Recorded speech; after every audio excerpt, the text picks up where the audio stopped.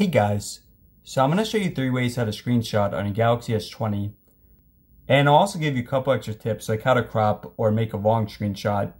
So for the first method on how to screenshot, you can just go like this with your palm or like that. So now for the second way. Now this uses the buttons. So you're going to press on the side here. You're going to press on power uh, Bixby the power button, and also volume down. So press both at the same time, and then quickly let go. On previous Galaxies, the button was over here, so that has changed a bit. Alright, so now for some extra stuff.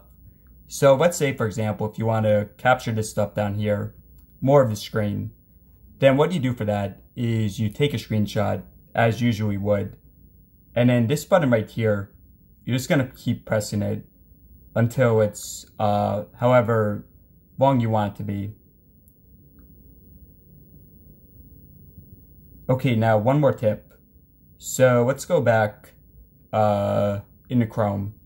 Now, let's say if you want to crop or draw on a screenshot, then again, is take the screenshot and the second icon right there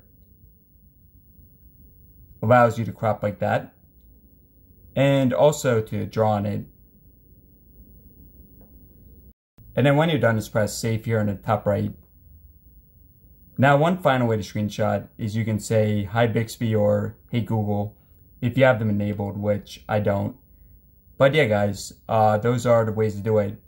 So hopefully this helped out.